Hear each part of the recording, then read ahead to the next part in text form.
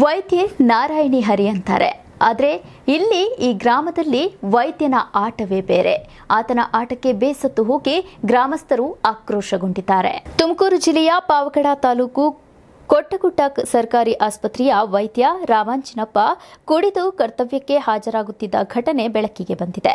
ಹೌದು ಕೊಟ್ಟಗುಡ್ಡ ಸರ್ಕಾರಿ ಪ್ರಾಥಮಿಕ ಆರೋಗ್ಯ ಕೇಂದ್ರದ ವೈದ್ಯ ರಾಮಾಂಜನಪ್ಪ ಆಸ್ಪತ್ರೆಗೆ ಬಾರದೆ ಆಸ್ಪತ್ರೆಯ ವಸತಿ ನಿಲಯದಲ್ಲಿ ಕುಡಿದು ವೈದ್ಯಕೀಯ ವೃತ್ತಿಯನ್ನ ಮಾಡ್ತಿದ್ದಾರೆ ಎಂಬ ಆರೋಪಗಳು ಗ್ರಾಮಸ್ಥರಿಂದ ಕೇಳಿಬರುತ್ತಿತ್ತು. ಇನ್ನು ಬುಧವಾರ ಕೋಟಿಗುಟ್ಟ ವ್ಯಾಪ್ತಿಯಲ್ಲಿ ಕಾರ್ಯನಿರ್ವಹಿಸುತ್ತಿರುವ ಆಶಾ ಕಾರ್ಯಕರ್ತೆಯರನ್ನ ಸಭೆ ನಡೆಸುವುದಾಗಿ ಕರೆಸಿಕೊಂಡು ಸಭೆ ಮಾಡದೆ ಆಸ್ಪತ್ರೆಯ ವಸತಿ ನಿಲಯದಲ್ಲಿ ತಿಕಾಣಿ ಹೂಡಿದ್ದಾರೆ ಎನ್ನಲಾಗಿದೆ.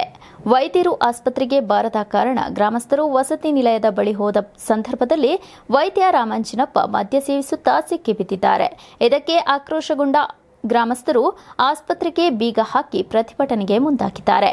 ನಾಲ್ಕು ವರ್ಷಗಳಿಂದ ವೈದ್ಯರಿಂದ ಬೇಸತ್ತ ಗ್ರಾಮಸ್ಥರು ಸಾಕಷ್ಟು ಬಾರಿ ತಾಲೂಕು ವೈದ್ಯಾಧಿಕಾರಿ ತಿರುಪತಿಯ ಅವರಿಗೆ ವೈದ್ಯ ರಾಮಾಂಜನಪ್ಪ ವಿರುದ್ಧ ದೂರು ಕೊಟ್ಟರು ಕ್ರಮ ಕೈಗೊಳ್ಳದೆ ವೈದ್ಯ ರಾಮಾಂಜನಪ್ಪನಿಗೆ ತಾಲೂಕು ವೈದ್ಯಾಧಿಕಾರಿ ಸಾಥ್ ನೀಡುತ್ತಿದ್ದಾರೆ. ಇವರ ಕರ್ತವ್ಯಕ್ಕೆ ಬಾರದೇ ಇದ್ದರೂ ಹಾಜರಾತಿಗೆ ಸಹಿ ಹಾಕುತ್ತಿದ್ದಾರೆ ಇಂತಹ ವೈದ್ಯರನ್ನ ವೈದ್ಯಕೀಯ ವೃತ್ತಿಯಿಂದಲೇ ವಜಾಗೊಳಿಸಿ ಎಂದು ಪಟ್ಟು ಹಿಡಿದಿದ್ದಾರೆ. ತಾಲೂಕು ವೈದ್ಯಾಧಿಕಾರಿ ತಿರುಪತಿಯ ಸ್ಥಳಕ್ಕೆ ಭೇಟಿ ನೀಡಿ ಕ್ರಮ ಕೈಗೊಳ್ಳಲು ಜಿಲ್ಲಾ ವೈದ್ಯಾಧಿಕಾರಿಗಳಿಗೆ ಗಮನಕ್ಕೆ ತರಲಾಗುವುದು ಎಂದು ತಿಳಿಸಿದ್ದಾರೆ.